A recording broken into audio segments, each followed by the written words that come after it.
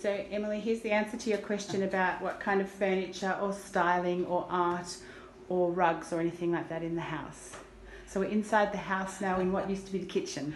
um, Emily, there was no carpets or rugs that I can remember in anywhere in the house. It was just lino throughout. Just lino. Yes, which you had to wash and get down on your hands and knees and wash and sometimes polish.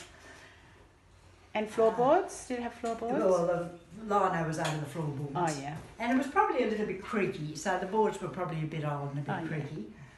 Um, the walls were just painted, but I can't remember. It was, you know, they were just all the same colour, creamy beige colour, I think, right through.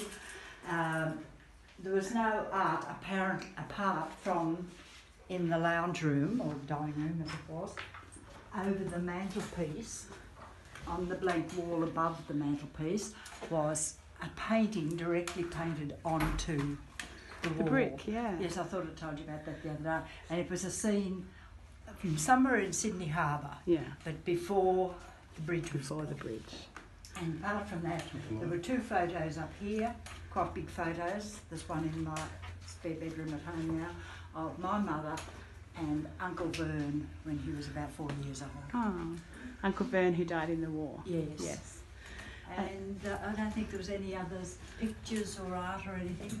And the furniture was a bit of a mixture. It was pretty basic furniture with a few nice pieces. There was a chiffonier in that corner, which was quite a nice furniture, Yes. piece of furniture.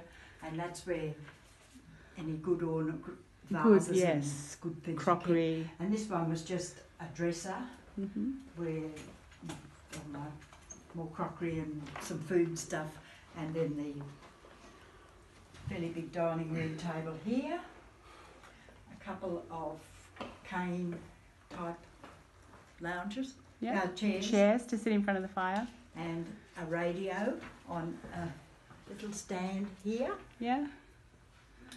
and that was about And that was it. Beautiful. And the beds were fairly basic iron type, type beds. Uh, the one in my grandfather's room had the overhead thing for the net, Netting, Yeah. yeah. Mosquito netting. mosquito net. Yeah. Oh. Um, And this was the room Mum stayed in the night before a wedding. but Mum's bedroom is now the bathroom. Yes. and it just had a double bed Yeah. and a washstand Oh, yeah. with the basin and jug, a dressing table, and a small wardrobe. Beautiful. And